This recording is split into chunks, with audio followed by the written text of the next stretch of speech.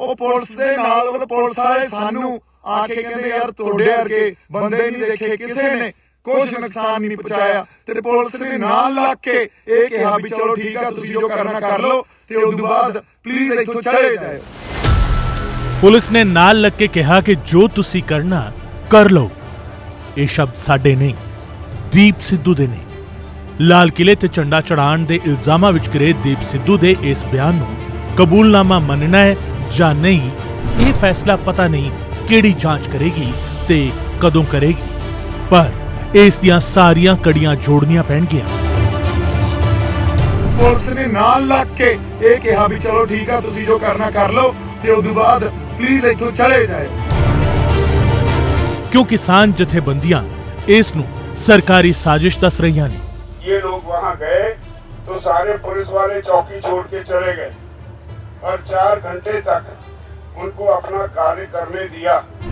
Delhi police ਤੇ ਦੀਪ ਸਿੱਧੂ ਦੇ ਕਿਤੇ ਇਹ ਦਾਅਵੇ ਕਿੰਨੇ ਪੁਖਤਾ ਨੇ ਪਤਾ ਨਹੀਂ ਲਾਲ ਕਿਲੇ ਤੇ ਜਦੋਂ ਦੀਪ ਸਿੱਧੂ ਲੋਕਾਂ ਨੂੰ ਖਾਲਸਾਈ ਝੰਡਾ ਲਹਿਰਾਉਣ ਦੇ ਲਈ ਭੜਕਾ ਰਿਹਾ ਸੀ ਤਾਂ ਵੱਡੀ ਗਿਣਤੀ ਪੁਲਿਸ ਮੌਜ ਨਾਲ ਸਾਹਮਣੇ ਬੈਠੀ ਇਹ ਸਭ ਕੁਝ ਵੇਖ ਰਹੀ ਸੀ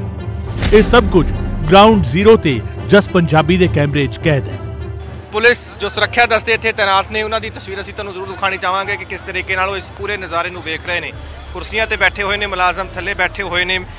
ਜਿਹੜੀ ਹੈ ਲੇਡੀ ਪੁਲਿਸ ਵੀ ਇੱਥੇ ਮੌਜੂਦ ਹੈ ਤੇ ਸਾਰੇ ਇੱਥੇ ਬੈਠੇ ਹੋਏ ਨੇ ਤੇ ਇਸ ਪੂਰੇ ਨਜ਼ਾਰੇ ਨੂੰ ਬੈਠ ਕੇ ਵੇਖ ਰਹੇ ਨੇ। ਤੁਹਾਨੂੰ ਦੱਸ ਦਈਏ ਕਿ ਸਭ ਤੋਂ ਅਹਿਮ ਗੱਲ ਇਹ ਰਹੀ ਕਿ ਇੱਥੇ ਕਿਸੇ ਵੀ ਤਰ੍ਹਾਂ ਦਾ ਕੋਈ ਲੜਾਈ ਝਗੜਾ ਨਹੀਂ ਹੋਇਆ।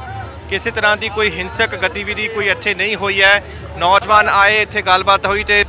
ਲਾਲ ਕਿਲੇ ਦੇ ਉੱਤੇ ਚੜ੍ਹ ਕੇ ਉਹਨਾਂ ਦੇ ਵੱਲੋਂ ਕਿਸਾਨੀ ਦਾ ਝੰਡਾ ਤੇ ਕੇਸਰੀ ਝੰਡਾ ਫਹਿਰਾ ਦਿੱਤਾ ਗਿਆ। ਲਾਲ ਕਿਲੇ ਤੇ ਭੀੜ ਪਈ। ਦਿੱਲੀ ਪੁਲਿਸ ਮੌਜ ਵਿੱਚ ਲੱਗੀ। ਪਰ ਪੁਲਿਸ ਨੂੰ ਪੁੱਛੇ ਕੌਣ? ਕੀ ਇਹ ਪੁਲਿਸ ਪ੍ਰਸ਼ਾਸਨ ਦੀ ਸ਼ਹਿਦਾ ਦੀਪ ਸਿੱਧੂ ਨੂੰ ਸਰਟੀਫਿਕੇਟ ਮੰਨ ਲਿਆ ਜਾਵੇ? ਜੇ ਨਹੀਂ, ਤਾਂ ਫਿਰ ਲਾਲ ਕਿਲੇ ਵਾਲੀ ਘਟਨਾ ਦੇ 30 ਘੰਟਿਆਂ ਬਾਅਦ ਵੀ ਦਿੱਲੀ ਪੁਲਿਸ ਦੇ ਕਮਿਸ਼ਨਰ ਸਾਹਿਬ ਦੀਪ ਸਿੱਧੂ ਤੇ ਪੁੱਛੇ ਸਵਾਲਾਂ ਤੋਂ ਭੱਜੇ ਕਿਉਂ?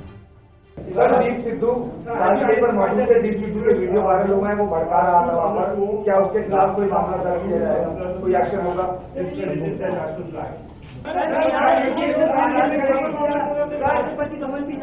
सर आखिरी सवाल क्या ਦੀਪ ਸਿੱਧੂ ਨਾਲ ਜੁੜਦੀਆਂ ਇਹਨਾਂ ਸਾਰੀਆਂ ਕੜੀਆਂ ਤੇ ਕਿਸਾਨ ਕਿਵੇਂ ਚੁੱਪ ਰਹਿੰਦੇ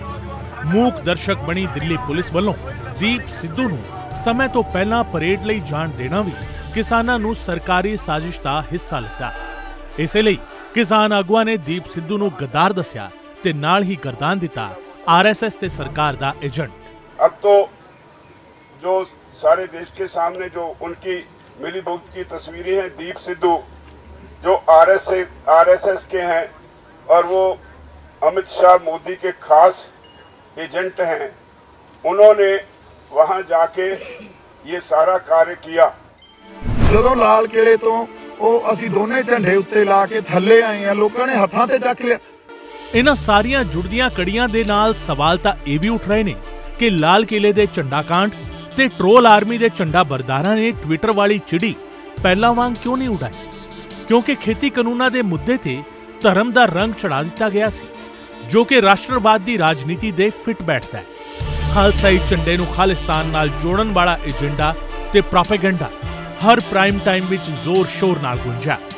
ਇਸੇ ਲਈ ਝੰਡਿਆਂ ਦੀ ਫਿਰਕੂ ਗੇਮ ਖੇਡਣ ਵਾਲੇ ਪਲੇਅਰਾਂ ਨੂੰ ਟਰੈਕਟਰ ਪਰੇਡ ਦੇ ਵਿੱਚ ਸਿਰਫ ਹਿੰਸਾ ਹੀ ਦਿਖੀ। ਨਾ ਹੀ ਇਹ ਫੁੱਲਾਂ ਦੀ ਵਰਖਾ ਤੇ ਨਾ ਹੀ ਟਰੈਕਟਰਾਂ ਦੀ ਫੂਕ ਕੱਢਣ ਵਾਲੇ।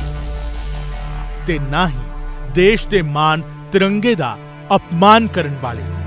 ਮੁੱਖ ਦੀ ਗੱਲ ਇਹ ਹੈ ਕਿ ਜੇ ਵਾਇਲੈਂਸ ਨੂੰ ਹੀ ਵਿਕਟਰੀ ਬਣਾਉਣਾ ਹੈ, ਤਾਂ ਫਿਰ ਡੀਪ ਕਨਸਪੀਰੇਸੀ ਵਾਲਾ ਦੀਪ ਦਾ ਕਨੈਕਸ਼ਨ ਜੋੜੇਗਾ ਕੌਣ? ਪੁਲਿਸ ਨੇ ਨਾਲ ਲੱਗ ਕੇ ਇਹ ਕਿਹਾ ਵੀ ਚਲੋ ਠੀਕ ਆ ਤੁਸੀਂ ਜੋ ਕਰਨਾ ਕਰ ਲਓ ਤੇ ਉਸ ਤੋਂ ਬਾਅਦ ਪਲੀਜ਼ ਇੱਥੋਂ ਚਲੇ ਜਾਓ ਨਿਊਜ਼ ਡੈਸਕ ਰਿਪੋਰਟ ਜਸਟਿਸ